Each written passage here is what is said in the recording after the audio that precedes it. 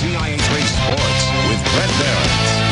legendary era in tonight. Ken Leonard coaches his final game at Sacred Heart Griffin. The state's all-time winningest coach has 418 wins and five state titles.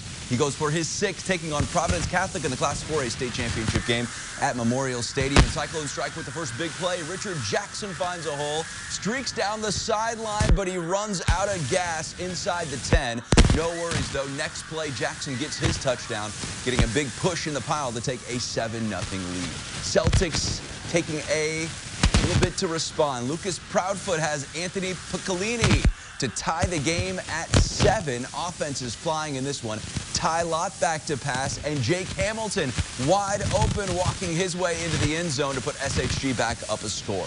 Now the defense steps up. Proudfoot going way long, but it falls in the hands of DeAndre Stewart. It's going the other way, and no better way to pay them back than a quick touchdown. Lott has Bill Sanders on the screen. He turns on the Jets, and he is gone. Cyclones go up two scores from there and put up a monster third quarter. This game is about to go final. 41 seconds left. It is 44 to 20. Sacred Heart Griffin leading. We will hear from Andy Olson coming up here in just a few minutes. From